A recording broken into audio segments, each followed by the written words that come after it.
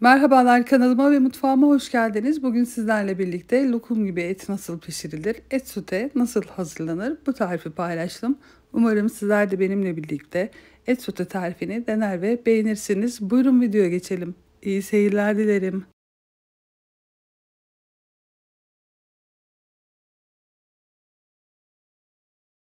Et yemeğimizi pişirmeden önce buzlukta bulunan kuyruk yağını çıkartıyorum ve eser miktarda olacak şekilde yaklaşık 50 gram kadar rendeliyorum. Rendelemeyi tercih etmemin sebebi de az miktarda kullanıp yağında yemeğin içerisinde eriyip gitmesi.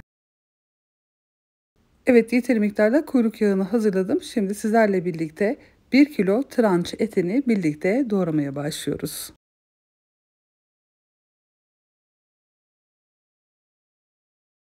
Eti kuşbaşı olacak şekilde doğruyorum.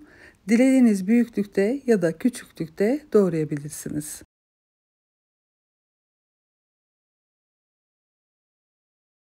Etin tamamını doğradım. Hepsinin aynı büyüklükte olmasına dikkat ettim. Şimdi döküm bir tavayı ocağa alıyorum ve öncelikle 50 gram kadar rendelemiş olduğum kuyruk yağını ısınmış tavanın içerisine aktarıyorum. Pişme esnasında bu yağ tamamen eriyip kaybolacak ve etinize az miktarda olduğu için sadece hafif bir lezzet katacak. Kesinlikle ağır bir lezzeti olmayacak. Şimdi yağ yanmasın diye içerisine 2 yemek kaşığı kadar ayçiçek yağı ilave ediyorum ve iyice ısınan yağın içine doğramış olduğum etleri ilave ediyorum. Bu aşamada ocak mutlaka yüksek hararette olmalı. Etleri mutlaka tavaya aldığınızda bu sesi duymalısınız. Tava çok iyi ısınmalı. İçindeki yağ da öyle.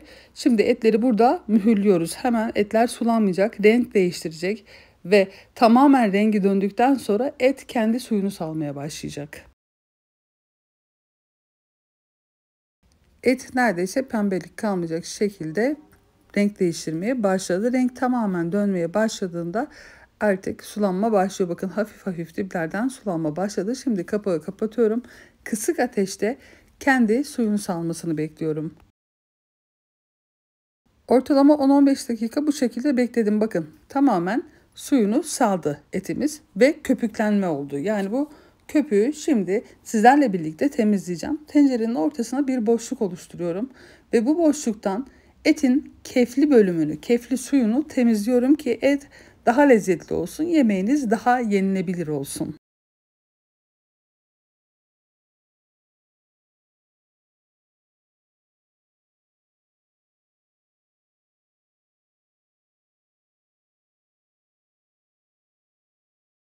Etin kefi sadece suyunda değil tencerenin kenarlarında doluyor. Bakın şu kısımlarda ve bunlar yanıyor. Mutlaka kaşıkla bu bölümleri de temizleyelim ki o bölümler yanmasın ve yemeğinizin lezzetini bozmasın.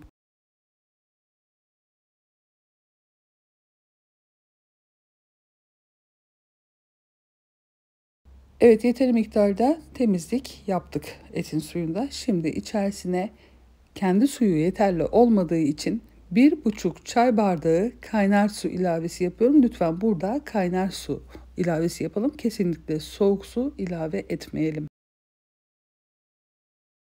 Suyun tamamını ilave ettikten sonra ağır ateşte kapağı kapalı bir şekilde eti pişmeye bırakıyorum ve ben de bu esnada içerisinde kullanacağım sebzeleri ayıklayıp yıkadıktan sonra sizlerle birlikte hazırlığa başlıyorum. Sebze olarak 2 adet kapya biber, 6-7 adet yeşil biber, evde bulunan bir tane sarı biber, 2 adet küçük boy soğan, 3 diş sarımsak ve 4 adet domates kullandım. Hatta domatesin birini kullanmadım. Biberin de birini kullanmadım. Tamamen sizler oranı kendi damak zevkinize göre hazırlayabilirsiniz. Ortalama 45 dakikanın sonunda et suyunu neredeyse tamamen çekmişti. Bu esnada etin pişmişliğini kontrol ediyorum. Suyu henüz tamamen çekmeden eğer pişmemişse içerisine biraz daha su ilavesi yapabilirsiniz. Pişme süresi kullandığınız etin cinsine ve nereden olduğuna bağlıdır ve hayvanın yaşına göre de değişir.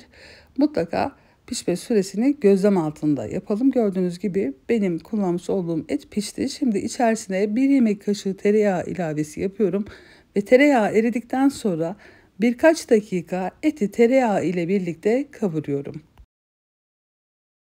Eti çok fazla kurutmadan 1-2 dakika kavurduktan sonra öncelikle içerisine 2 adet soğan ve 3 diş küçük küçük doğranmış sarımsağı ilave ediyorum ve soğan yumuşayıp renk değiştirene kadar soğanla eti birlikte pişiriyorum.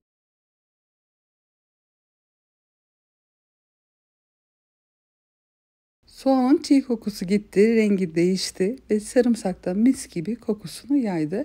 Şimdi içerisine doğramış olduğum tüm biberleri ilave edip yaklaşık 5-6 dakika boyunca biberleri de etle birlikte pişirmeye devam ediyorum.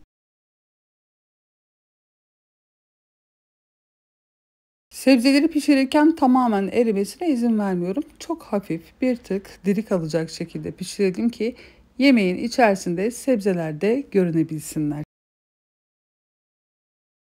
Sebzeler ve eti güzelce harmanladıktan sonra ortalama 5 dakika boyunca biberler hafif renk değiştirip yumuşayana kadar pişirmeye devam ediyorum.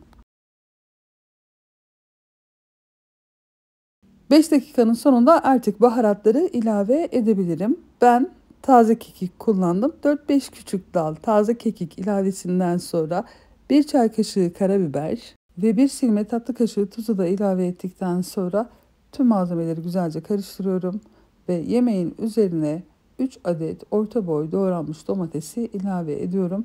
Taze kekiğiniz yoksa lütfen sizler damak zevkinize göre kuru kekik kullanınız yarım tatlı kaşığı kekik yeterli olacaktır. Domatesin üzerine de çok az kekik ilave ettikten sonra en kısık ayarda kapağı kapalı bir şekilde ortalama 20 dakika kadar bu şekilde yemeği pişirmeye devam ediyorum. 20 dakikanın sonunda gördüğünüz gibi domatesler pişmişti. Şöyle bir yemeği karıştırdıktan sonra ocağın altını kapatıyorum ve yemeği yarım saat kadar dinlendiriyorum. Yemeğe sadece sebzelerin suyu yeterli oldu. Eğer su miktarını daha az istiyorsanız domates miktarını azaltabilirsiniz. Şimdi dinlenmiş olan yemeği sizlerle birlikte servis ediyorum. Yemeği servis ederken maydanoz ilavesi yapabilirsiniz. Yanına pilavla da çok güzel oluyor ya da ekmek banarak sadece et yemeği tercih edebilirsiniz. Şimdi sizlerle birlikte etin pişmişliğini kontrol edip sizlere veda etmek istiyorum. Ete baskı uyguladığınızda çok rahat bir şekilde dağılığını görebilirsiniz. Umarım tarifi ve videomu beğenmişsinizdir. Beni izlediğiniz için teşekkür ederim. Bir sonraki videoda görüşmek üzere. Hoşçakalın.